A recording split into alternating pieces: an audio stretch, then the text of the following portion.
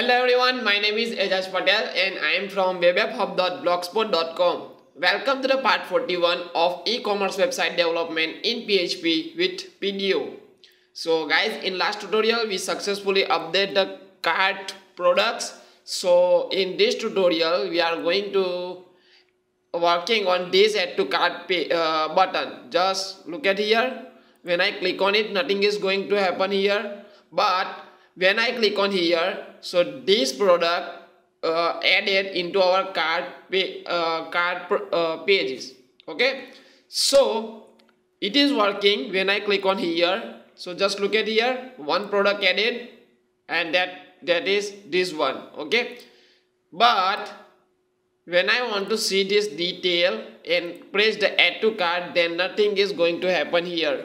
So we need to put a one condition here to add this product into the cart so first of all just look at here. This is our electronic function right?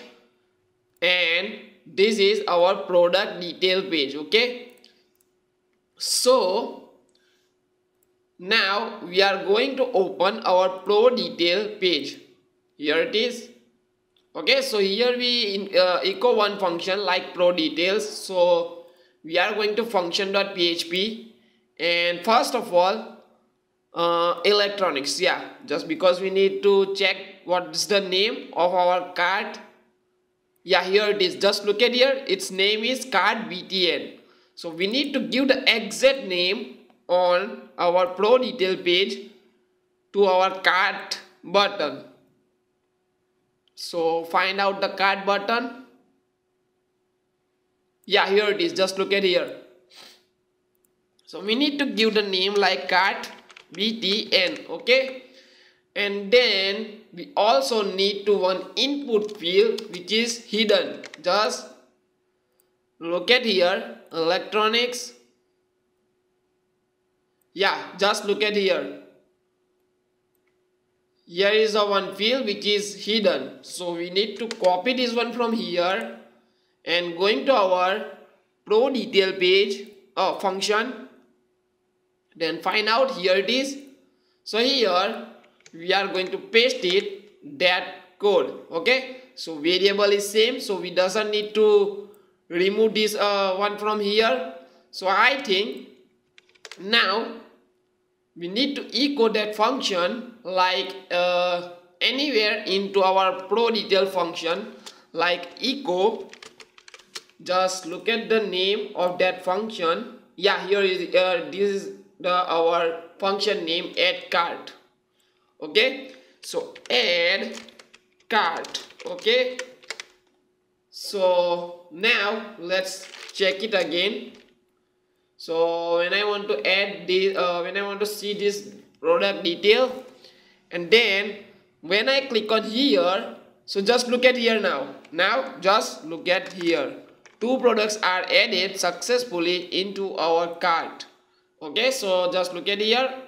The same product which will uh, available into product detail page let's try to add this one into our cart. Okay?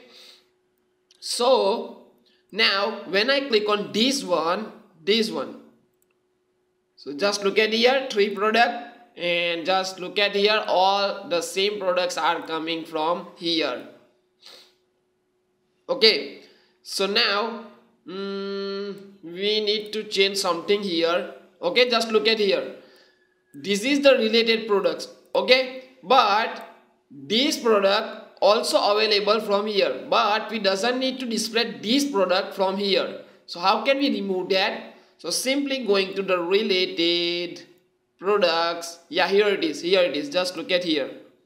And here we need to give the name like where pro id is not equal to dollar pro id okay? And give the end condition okay? Oh not like that. The explanation sign before the equal to okay? So pro id not equal to this one okay? Let's check the pro id variable which is available into our pro yeah here it is. Just look at here.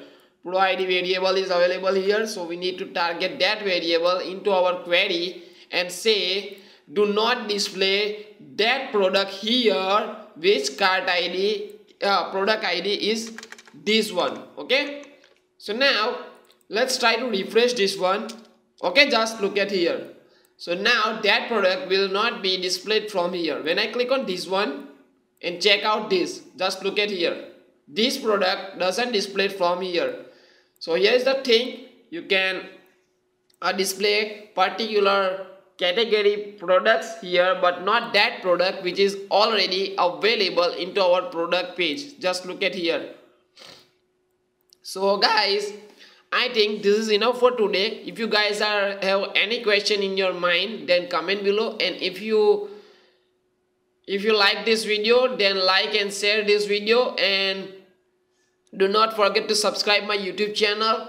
And just because when I upload a new videos then you can get the information directly into your inbox. So guys don't forget to subscribe my youtube channel. Thanks a lot for watching guys. Goodbye